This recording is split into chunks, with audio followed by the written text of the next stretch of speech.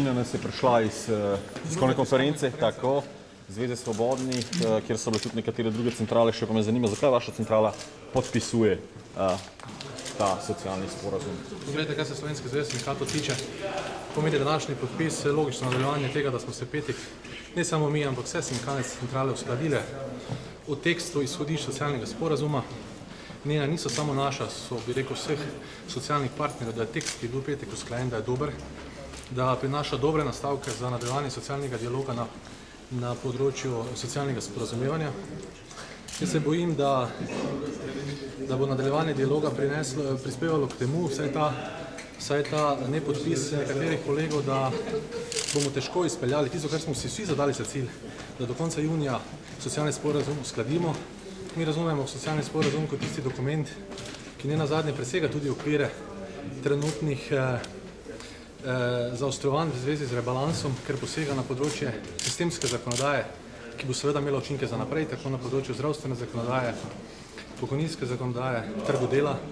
Mi se seveda obetamo, da bomo znotraj socialnega sporazuma, na katerem smo pripravljeni aktivno delati, eh, bistvene problematike v zvezi s temi tremi sistemskimi zakoni zaprli znotraj socialnega sporazuma in se seveda temu, v, tej, v tem cilju danes odrežujemo in podpisa teh izhodišč in bomo tudi aktivni v nadaljevanju tega dialoga. Se to vsi... Kako vi to vidite? Ne podpise, to praktično, tudi začela. Kako to vidite, da to uporabljajo kot neke vrste ne, svojo zaostrovanje? Ker načeloma se vsi strinjajo, da, je, da so izhodišča relativno dobra, pač kompromisna, ampak dobra. Jaz kot na tej točki ne bi polemiziral za stališče mojih kolegov, ker mislim, da na tej točki to ni potrebno. Mi se svojega dela odgovornosti kot polnopravni član ekonomsko-socialnega sveta zavedamo in računamo na to, da bo vlada ne nazadnje tudi pri pripravi rebalansa proračuna se zgledovala po dobrih zapisih in dobrih zgledih tega, kar danes podpisujemo.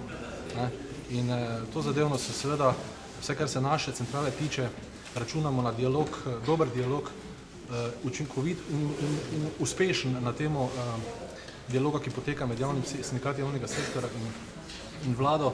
Mi smo ne nazadnje prejšnji teden, ostala malo prezrta, tudi pozvali ene in druge, ne, da konstruktivnemu socialnemu dialogu, ne nazadnje tudi pozvali naše kolege na sindikalni strani, da se v času, ko ta dialog poteka, vzdržijo najradikalnejših oblik sindikalnega boja s ciljem, da se seveda uspešno dogovorijo oziroma dogovorimo okrog rebalansa. Jaz mislim, da še ta, ta cilj zmeraj dosegljiv, če se bo vlada držala tega, da bo dialog potekal do vključno z amandmaji do sprejema rebalansa. Dobre, prav, da ste tudi v tem pismu pozvali naj malce naredito časovnico spremene ukrepov bolj ohlapno, vam je mogoče odgovorila?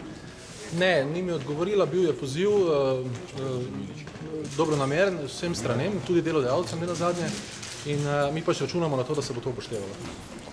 Hvala.